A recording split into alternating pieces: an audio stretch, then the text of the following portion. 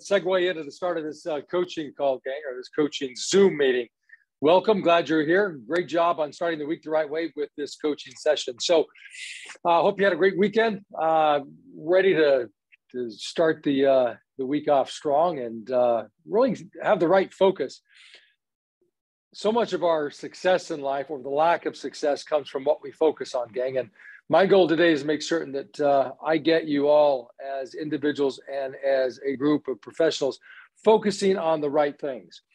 Uh, I firmly believe that we get what we focus on, and we have the choice every single day to focus on uh, the good or the bad. Um, look, it's we're in a market that's transitioning. Let's admit that. That's fine. It's okay. Uh, and the question isn't whether the market's transitioning. The question is, are you going to transition? Are you going to deal with the, the, the changing uh, market? Look, the way the business was done the last 18 to 24 months is not going to be the way that it's done uh, in, in some ways uh, over the coming months and potentially years. You know, it's we may not be getting 15 or 20 offers on a listing, uh, and you can't uh, overprice it, quote unquote, overprice it, and expect that it's going to sell or to uh, to see that it goes above list price you know, we're, we're starting to see those things change. And so as a result of that, we've got to, you know, pay attention to the things that we, we control. There are things in life that we control, and there are things in life that we do not control. And the good news is this, the things that you do control are the things that matter most. I'm going to repeat that. There are things in life that you control and don't control. And the good news is that the things in life that you control are the things that matter most. See, you don't control the interest rates. You don't control the amount of inventory. You don't control whether the prices are going up or going down. None of that you get to control, but what you do get to control is how you respond to the changing nature of the market. See, I don't I don't think it's a buyer's market or a seller's market at this point. It's nobody's market. You know, it's it's neither one of theirs. What it is, it's your market, gang. It's it's a message I keep repeating because I want you to recognize. Look, for as long as I've been in real estate, which is 30 years, which I guess is a long time, but uh, you know, let's just give you some perspective. Let's talk about over the last hundred years. There's nothing that's happened in the last 30 years in real estate that didn't happen the 70 years before that. You know, we have the business cycle every five to seven years. Inventory goes up, inventory goes down, prices go up, prices go down. It, those fundamentals don't change. There's always going to be uh, flux or you know change. Uh, that's one thing that's guaranteed is that things are going to change. So it's not a question of whether the market is going to change because it always is. Nothing is permanent. The question is, are you going to do the fundamental things that regardless of what the market's doing, going up, going down, stagnant, regardless of what it's doing, are you going to do the fundamental things that will allow you to be successful? And again, it goes back to what I said the things that you control are the things that matter most. The things that you control are the things that matter most. So let me ask you this question How many of you, when you got into the business of real estate, were told, Congratulations, great job, you've signed up to be a leader? Well, the fact is, I'm sure that none of you did unless I was the one who recruited you, sat down with you. That's just not normally a perspective that we have in real estate that when you are looking to get a license that you have this mentality, okay, I'm signing up to be a leader. No, you think you're signing up to be a real estate agent, right? And you look to join the board of the National Association of Realtors. I'm I am an agent. I'm a am uh, a, I'm a sales agent. I'm a realtor, right? I think that does a disservice because the fact is, yeah, you might have the, the designation as a realtor or a sales agent, right? Or a real estate agent. But fundamentally, gang, that's not what you are. That's not what we are in this business. Fundamentally, what we are is we're leaders. So I just want you to think about this. What is leadership? At its core, what is leadership? Well, I think it's confidence. Uh, it's, you know, having a vision, being able to cast it for other people so that they can see it. I mean, that's what Martin Luther King did, right? I have a dream. He described what his dream was, tried to cast that so other people could see it, so they would follow, so they would follow him. You know, uh, great leadership is uh, good intentions. You know, there's a there's a fine line between manipulation and leadership, and it's intention. You know, great leadership is problem solving. Great leadership is inspiring people. Great leadership is motivating people. Uh, great leadership ultimately, or to sum all of that up, great leadership is influencing people and taking them to the next level. Right? That's what all of that is. When you look at confidence, when you look at good intentions, when you look at problem solving, inspiring people, motivating people, casting a vision, taking people to the next level, all of that is about influence. Okay? It's influence. That's that's really see most people get into real estate think they're going to sell homes. That that's their job is to sell homes. No, your job is to influence people. That's your job. It's to influence them, to get them to ultimately to choose you versus the competition to influence their decision to choose you, to help them through the process of getting to the next level in their life, whatever that is, the next chapter in their life, the next stage in their life. So that's influence. Influence is about changing perspective and therefore then changing behavior. Your job as a real estate agent, that's the phrase or the terminology you want to use, a realtor, is to influence people by changing their perspective and changing their behavior so that they do the things that are necessary to help them get what it is that they want. So I just I want you to think about confidence, think about vision, think about good intentions, think about persuasion, think about problem solving, motivating people, inspiring people, taking them to the next level. What do they all have in common? There's one thing that all of those things have in common. Think about that. Anybody want to give me an answer? Chat, type it in the uh, in the chat box. Where, think about it. What do those things have in common? Confidence, vision, good intentions, persuasion, problem solving, motivating people, inspiring people, taking people to the next level. What do they all have in common? Yes, 100% right, Tanya. All those are marks of a great leader. But if you're going to be a great leader who's going to, yes, leadership, yes. But if you're going to, if you're going to have confidence, if you're going to have a, a great vision and be able to cast it for people, if you're going to persuade people, motivate people, if you're going to problem solve for people, if you're going to take people to the next level, what is the necessary component in that? What makes a great leader a great leader? Yes, it is their skill set, their skill set of specifically of communication, right?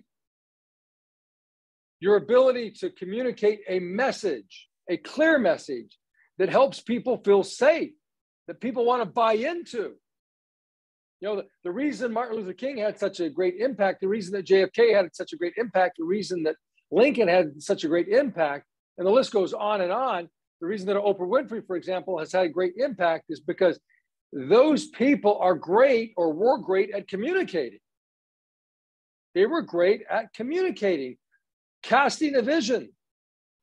So you think about a Kennedy or Martin Luther King or a Lincoln or a Washington or an Oprah Winfrey. They're all great at communicating. So I, I want you to write this down. Take the time to write this down. The highest paid, the highest paid and most influential people are great communicators. The highest paid and most influential people are great communicators. And that is true in real estate. Listen, the highest paid real estate agents are always going to be the agents who are great communicators. The agents who have the most influence are always going to be the best communicators. You want to make more money in real estate? Influence better, influence more, influence to a greater degree, influence more people. Well, the only way to do that is to be a great communicator. Okay, I want you to I want you to write this down because I said in the beginning, we're in a changing market. It's it's shifting. We're not in a buyer's market. We're not in a seller's market, I don't believe. We're in nobody's market but yours. This is your time to recognize the fundamentals that what you focus on is what you will get. And gang, I'm here to say if you want to be successful for the final six months of this year and for the rest of the years that you're in the business of real estate, hoping that you're in the business as long as you choose to, not being forced out because you ignored the fundamentals, is to recognize this. Your job consists of six fundamental things, and I want you to write these things down. Your job consists of these fundamental things. If your list, your current list of things that you do in the business of real estate include one of these things, then what I would suggest is you're not doing your job. And if you say, well, wait a minute, John, I, I don't know, I, maybe I disagree, depends upon what your list is. Well, the question I would ask you is, how much money are you earning? You know, if you're earning a ton of money and I give you this list and you disagree, that's one conversation. But if you're not earning a ton of money, man, I hope you just sit back and listen to what I have to say about this list because fundamentally it's true. Your job as a real estate agent, number one, is to talk to people. Gang, the single biggest bit of advice that I could give you based upon what the market is currently doing, what the world is currently doing, what real estate is currently doing, whatever might be going on in your life that is challenging or problematic, whether it's personal or otherwise, the number one thing that you can do in real estate is to talk to people. That if you will do that, that so many of your challenges will go away or will become that much easier. Number one, your job is to talk to people. Number two, it's to follow up with people. See, number one, talking to people is about generating leads. It's about finding people you can talk to, people you can lead, people you can influence to help them change their perspective, to change their behavior, to move them to the next level in their life, whether it's to buy a home or sell a home because they need to transition to a smaller home or to a bigger home because the family size is changing or they're moving to another state because they got a job transfer or they have financial challenges or they're getting a divorce or whatever it is. But that you were there to influence them to get them to see that you are the best person that you're the leader to help them through this process that is very uncertain to them in uncertain times. That's what a great leader does. So that's about lead generation. But then just because you had one conversation with them doesn't mean that they're ready to do it. Doesn't mean that, that they're completely confident in you that they're absolutely certain what they're going to do. So therefore number two you have to follow up with them. Saying 80% 75 to 80% of all the opportunity that you're going to find in the business of real estate will come through following up with people. So first of all you got to start by talking to the people right?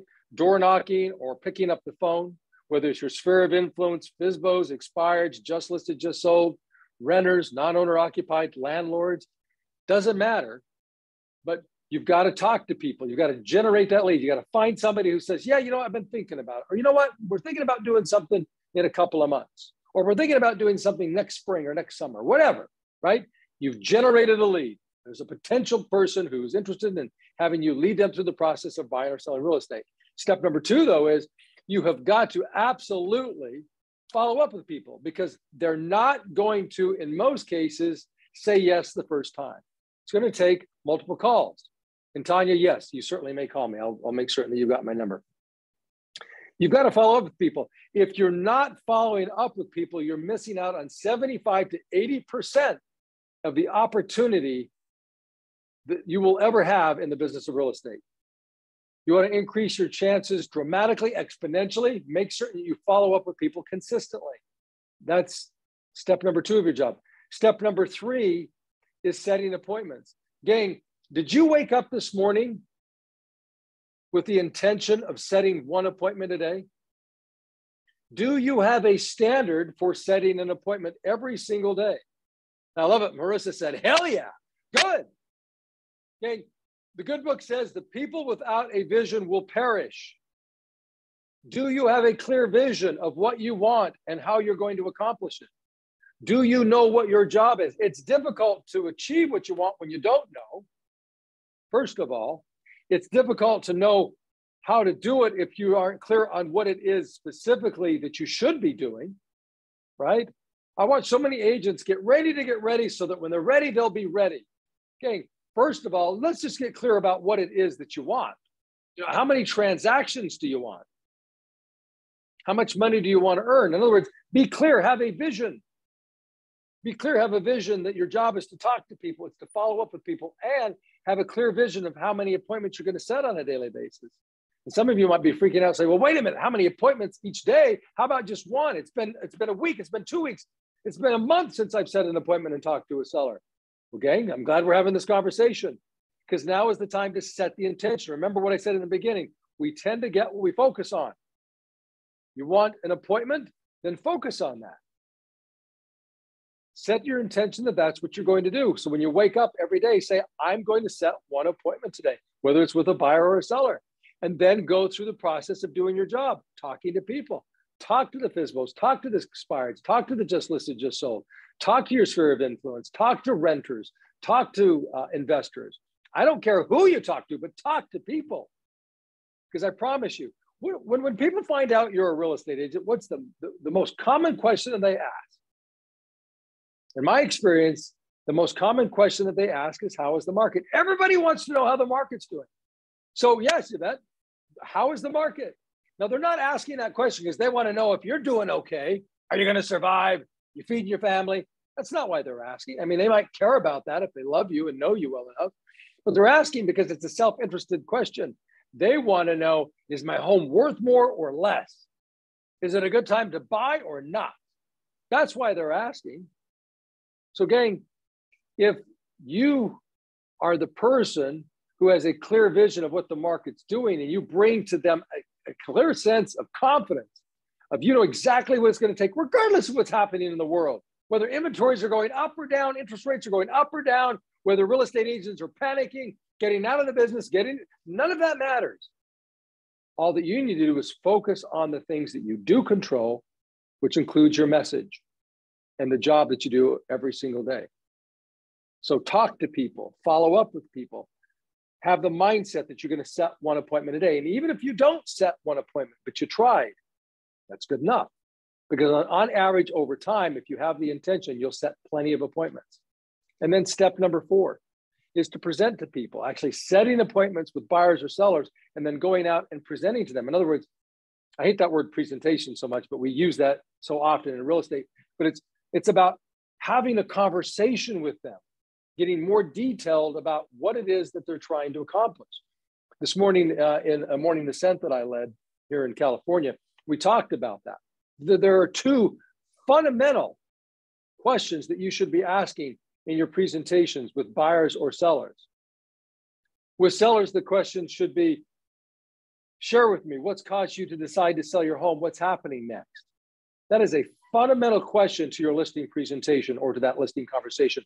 Share with me what's caused you to decide to sell your home? What's happening next? And giving them an opportunity to tell their story. The second question that you should be asking in the listing conversation is I know you want me to sell your home. Share with me what do you believe that I should do? What are the things that I should do on a daily basis to cause your home to sell? What are the things that you believe that I should be doing that will cause your home to sell in today's marketplace? You want to know their opinion. See, and if you're working with a buyer, the question would be share with me what's caused you to decide to buy a new home? Give them an opportunity to tell that story. And follow that up with share with me what do you believe I should be doing to help you do that? What are the things that are important to you? What are the things that you think that I should do for you on a daily basis that are important as we work together to help you find a home. You want their opinion on these things. Gang, clarity about what your job is and what you should be doing on a daily basis and the way in which you should be communicating the message that you should be sharing is absolutely critical. It is the linchpin it is the fulcrum. It is the center. It is the, the core of your success. And I don't care what the market is doing. Stop paying attention to the doom and gloom and people panicking out there and saying, don't know what we're going to do. Gang, I know what we're going to do. We're going to focus on the fundamentals. We're going to do our job. And we're going to take to the marketplace and to the people a message of positivity of we know exactly what it's going to take in today's marketplace to help them buy or sell a home. Because it's still a great time to buy. Interest rates are still historically low. It's still a great time to buy because there's more inventory in the marketplace.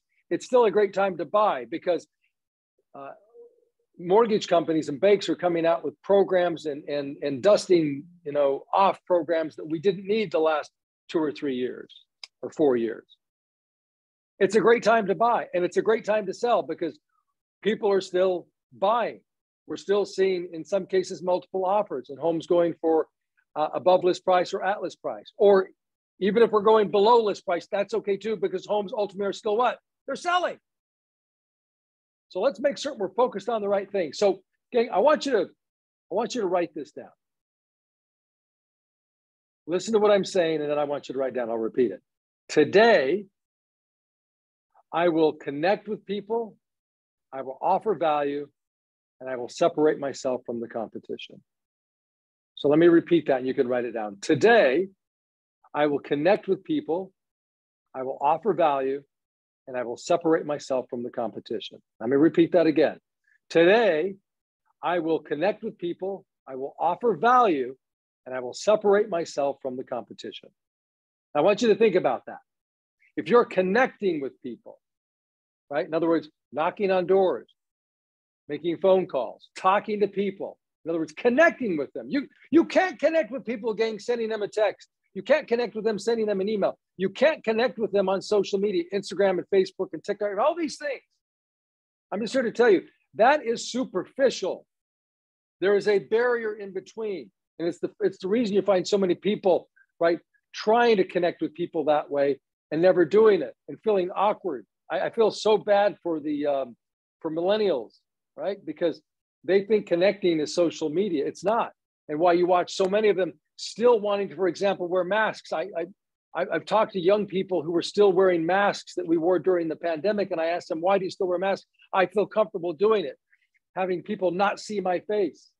They try to hide behind a barrier. Well, Facebook and Instagram and other social media pat- uh, platforms, they are the mask that people hide behind, that real estate agents hide behind because they're afraid to get in front of people. Gang, don't be afraid to get in front of people.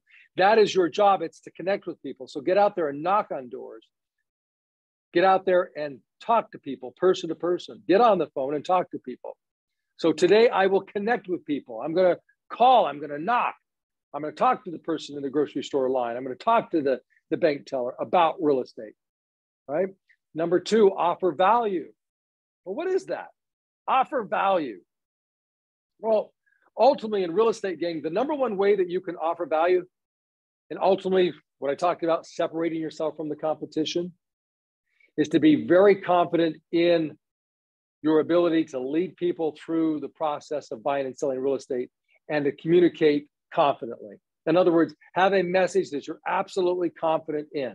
In other words, you know what the market's doing, right? You know that inventory is increasing. You know interest rates are going up. You know what uh, a lot of real estate agents are, are saying. And yet, despite all of those things, you know exactly what it's going to take to get the home sold in today's market, despite the naysayers, despite the fact that some people are saying it's not a good time to buy or it's, it's, a, it's a more challenging time to sell. The fact is, it is a great time to buy and it is a great time to sell because you bring a message of absolute certainty to the conversations with buyers or sellers who, in today's market, need to buy or sell a home. See, we're in a market where people are still going to need to buy and sell real estate. And despite what the market's doing, despite what interest rates are doing, despite the inventories are going up, and it may not be as advantageous now to sell a home as it was six months ago or a year ago from a price standpoint, people still will need to buy and sell real estate. It's inevitable. They're going to have to. And it's your job to get in the way, to be in the middle, to be that person who connects with them, to help them feel safe, to feel comfortable. The process of buying and selling a home is a nerve wracking process. You think it's nerve wracking, you know, you're the professional. Try it on for size as the as the as the amateur, as the layperson who doesn't understand the process and is and is concerned about all the messaging that they see out there on the uh, the media platforms, you know, in television and and radio and online. So it's your job to go out there and connect with people and to offer value, to be that person of confidence, sharing a message of absolute certainty that you know exactly what it's going to take. It's like, step aside, I got this. The superhero is now in the room. That's who you are. See, and if you do that, you'll separate yourself from the competition. Again, you have to be willing to go out and communicate with people. Let me let, me just share with you a story about the importance of that. It was years ago, I was making phone calls, just listed just sold calls, calling people in a neighborhood where a home had just been uh, sold. And so I, I, called up this household, and the, and the lady answered the phone. And of course, I introduced myself, said John Ciet, uh, Century 21. Uh, I'm calling to let you know that we uh, just put a home under contract over on, I don't remember the street, Primrose Lane. It had three bedrooms, two baths. I just followed the script. And uh, I asked her if she had any plans on maybe potentially selling her home. And she said, Oh, no, absolutely not. We're going to stay on our home. We've been in here four years. And we absolutely love the neighborhood. Uh, we love the home. Uh, we're going to be in here a long, long time. And I just continued the conversation. You know, I was curious. Um, you know, I didn't let her answer that no, they were going to stay in the home and that they were absolutely happy there. I didn't let that unsettle me. I didn't let that knock me off kilter. I just continued the conversation. I just continued following the script. And as I continued following the script, what was interesting is I asked her, well, how did you happen to, to, to pick the area? You know, how long have you been in the home? What caused you to decide to move into the neighborhood? I asked the question, the next follow-up question I asked is, well, if you were to move, where would you move to next? And this was about 10 minutes into the conversation at this point. And she said, well, if we were to move, you know, I, I don't know exactly where we'd move, but if we were to move, we'd move because uh, my husband has knee problems. And uh, he's really having a challenge going up and down the stairs because the master bedroom is upstairs. And um, it was so interesting. It was almost as if she had forgotten everything that she'd said to me up to that point, because her next phrase was this, or her next sentence was this. So we've been talking about maybe finding a home that has a master bedroom on the main level. And I got thinking to myself, wait a minute. You just got done saying that you absolutely weren't moving. You've only been in the home for years. You absolutely love the home. You're going to be there a long time. And within almost the same breath, she said, and yes, we've been thinking about making a move.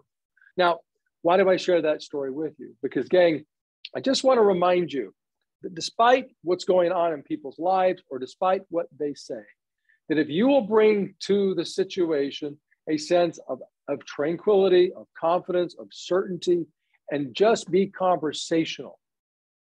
Stop thinking that you have to be a presenter. You're not a presenter. You're a leader who just simply goes out and has conversations with people. Just ask some fundamental questions. And if you'll do that, you shift the burden from you to them. Because really, the real burden, the real pressure is on the person who has to answer the questions, not the person who asks the questions. I mean, once you ask the question, it's like, okay, the hot potato is yours. You'll give them an opportunity to just answer the questions. So the key to that is this if you're going to go out and talk with people, you really you either have to really like people or you got to pretend to like people. Now, I'm hoping and I'm assuming, gang, with everybody on this call, that you actually really like people. And if you do, then it's going to make it a lot easier to go out and actually talk to people. So here's one of the phrases that I've used in, in, in uh, the years that I've been in the business uh, that's helped me a lot to encourage me to go out and actually talk to people, right? It's this it's, I really want to know. See, when I ask a question about how long have you been uh, in your home, I really want to know. If I ask them, well, how did you happen to choose this area? I really want to know. If I ask them, if you were to move to, where would you move to next? I do really genuinely want to know. See, I think people sense that. And when they sense that I ask these questions with absolute genuine sincerity, they're more likely to engage in a conversation with me. It becomes less presentational. It's not an interrogation on my part. Where were you the night of January 22nd? No, it's it's just a conversation about what they're trying to accomplish ultimately and what's going on in their life and how I might be able to help them. It's, I really want to know. See, I demonstrate that I care. Demonstrate that you care by asking questions, giving them an opportunity to discuss their wants, their needs, their wishes, their desires, their hopes, and their fears. See, gang, now is not the time to panic. It's not. We'll leave that up to the unprofessional people. We'll leave that up to um, the people who are going to pay attention to the news media or to the naysayers or to the pessimists. See, now is the time for us to pay attention to the fundamentals, understanding firmly what your job is, absolutely knowing with certainty that at the forefront of your mind every single day, my job is number one to talk to people. Number two, it's to follow up with those people. Number three, it's to have the intention of setting an appointment one day and working towards that every single day by talking to people. And then when I set an appointment, that I prepare and go out and I actually have a great conversation with those people, right? And get that home listed or get that buyer broker agreement signed. And if you'll have that single minded focus of just simply doing your job and focus on having a great attitude and being aware of what's going on, but not buying off on this idea that we're entering challenging times. We're not, we're entering differing times. It's a transitional market, it's just transitioning. But you have all the resources, you have everything that you need to go out there and help people. Now is not the time to panic, gang, or to place blame or to get distracted. Now is the time to take control. So, my question for you is Are you going to take control? Are you going to be clear about what your job is? Are you going to set a schedule where you acknowledge that I need to prospect and set the time to come into the office and prospect for an hour, two hours, three hours? To identify the number of people that you need to talk to, the number of people that you're going to follow up with, the people who you're going to follow up with, setting aside the time to, to actually do the follow up. In other words, put together a working schedule that takes those fundamental principles of doing your job and acknowledges those things and then executing on that every single day. Again, look, if you will do your job and do it consistently over time, the great equalizer is consistency. I promise you, not only will you hit your goal, but you will do greater than your goal and you'll do it consistently with predictability and duplication what I know through personal experience and whether it's been me firsthand or coaching and training others through it, I know that in real estate, that if you will stay dedicated, stay focused, recognize what your job is, and fundamentally recruit on that every single day, I promise you, within five to six years, you can become a millionaire. It can happen that quickly because I've watched it done and I've experienced it personally. But you cannot ignore the fundamentals. So, gang, again, just remember fundamentally, you're a leader. You're not a realtor. You're not a real estate agent. You're a leader. And your job is to influence people. And the number one way to influence people is to go out and communicate with them, have conversations with them, which means to go out and prospect, to go out and to make the calls, to go out and knock on the doors. Just let people know that you're in the business. And if you will do that and do that with confidence and excitement and energy, I promise you, You'll separate yourself from the competition. And in challenging, uncertain times, people will choose you and you'll get the opportunity to lead them to what it is that they want, to the next chapter in their life, to the next level in their life. And it's what a special charge, what a great opportunity to be able to do that. And the great thing about being in a capitalist society is this in a, in a market, in a country where we recognize the principles of a free market that when you help enough people get what they want, you're going to get what you want. When you do your job exceptionally well in real estate, when you do your job exceptionally well, when you talk with people, that's what I'm talking about. I'm not talking about overseeing the escrow. When I when you do your job exceptionally well, meaning when you talk to people and follow up with them, gang, you're going to get everything that you want, but you have to do your job. So go out and do your job. Go out and do your job. Today is the day to begin to do your job. If you'll focus on doing your job, it does not matter what the, what is happening with interest rates or what's happening with inventories. You will always have enough business if you will focus on the fundamentals and go out and do your job and lead people through the process. Go out and influence people. All right.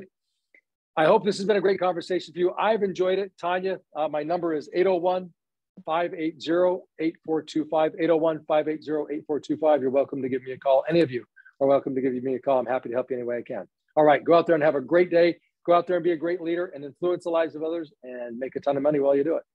We'll see you next time.